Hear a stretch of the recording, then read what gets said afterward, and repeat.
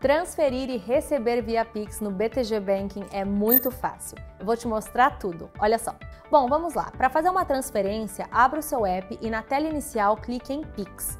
Aí é só selecionar Transferir e escolher como gostaria de fazer a transferência. Por exemplo, se a chave Pix for o e-mail, é só clicar aqui e digitá-lo. Em seguida, é só dizer o valor desejado e prosseguir. Pronto, em instantes o valor estará na conta que você selecionou. Você também pode fazer pagamentos via Pix através do QR Code. Nesse caso, é só clicar em Pagar com QR Code e apontar o seu celular.